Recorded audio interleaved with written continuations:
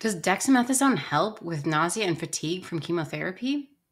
I recently got asked a question about dexamethasone for chemotherapy and cancer, and I wanted to read that to you and then give you my thoughts on how to respond. And before I do so, make sure you understand that this is not medical advice and that the best information comes from your healthcare team and to always reach out to your doctor from whatever you hear on the internet. So, this is what this person said. I'm on four milligrams of dexamethasone for nausea and fatigue for chemotherapy. I cannot bear chemo without it. But my moon face and a hundred other things are happening. I'm on radiation too. Plus, I have a huge surgery coming up in August to remove a large tumor in my leg. That gives me about three months to wean off Dex before surgery and ending radiation, all while on maintenance chemotherapy every three weeks. Thoughts?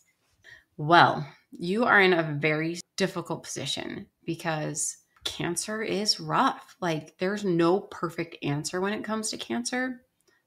that rhymed. And it's challenging because you have so much going on between the chemotherapy, the side effects, the radiation, and the surgery.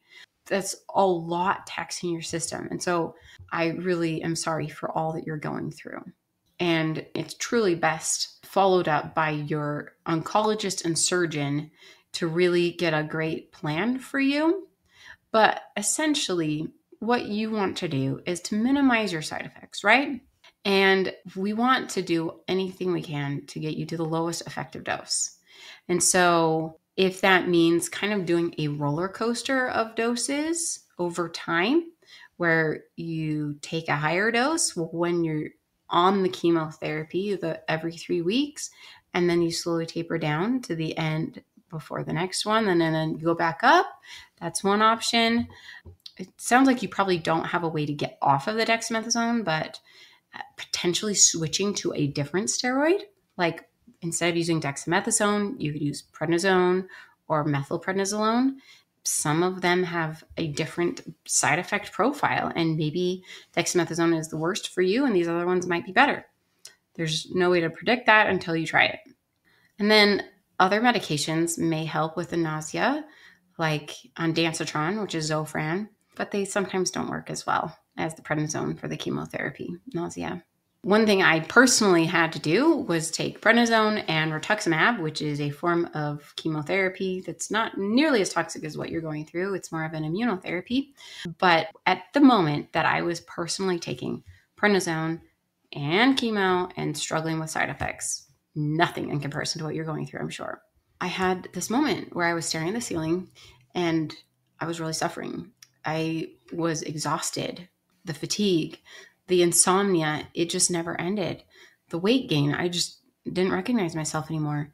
And suddenly I was laying on my bed trying to take a nap and staring at the ceiling, not able to sleep. And I realized a light bulb. It was like, here's your calling. People on prednisone and dexamethasone and other steroids need a steroid supplement. They need a supplement designed specifically for the side effects. And so I was like, whoa, that surprised me. It really just like, what? This is what I need to do?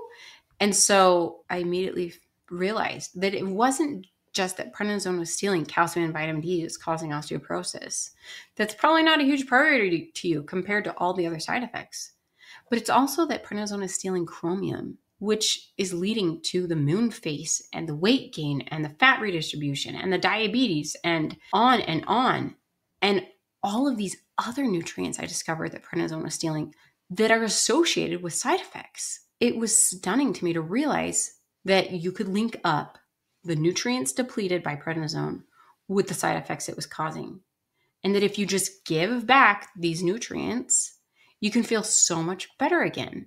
And so, what I did is I figured out exactly which nutrients we needed to replenish, found out what dose we needed to use, and then I found other ingredients to add to the supplement to help it counteract other side effects. So, I came up with Nutranize Zone, the first and only supplement for people on prednisone. It's got a morning bottle and a bedtime bottle, and you take two in the morning and two at bedtime, along with prednisone or dexamethasone and it'll help you reduce your suffering by replenishing the nutrients that are depleted so that you can feel like yourself again. And if you're taking chemotherapy, there's probably other nutrients that are being depleted that you need to be replenishing giving back either through a healthy diet or through supplementation. For example, if one of your chemotherapy drugs is methotrexate, then you need to be replenishing folic acid. And there are other chemotherapy drugs causing dramatic nutrient depletion. So if you replenish all of that, it can really help you feel so much better with your symptoms. And so what you can do is just go to nutranize.com to get Nutranize today. And it'll help you feel like yourself again while on prednisone. And if you're wondering, can I take it with chemo?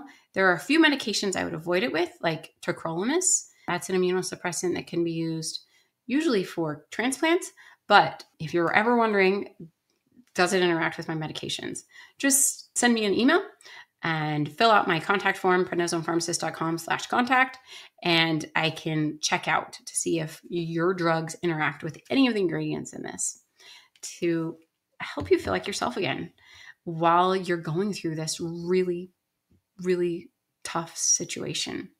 And I'm not going to say that this is going to cure cancer because it's not. What I'm saying is that this is going to help you have less symptoms. That while you're taking prednisone or, I mean, dexamethasone, that it's going to minimize how awful you feel. That this is going to help you feel like yourself again. So just go to nutranize.com to get it today. Signing off as Dr. Megan, your prednisone pharmacist.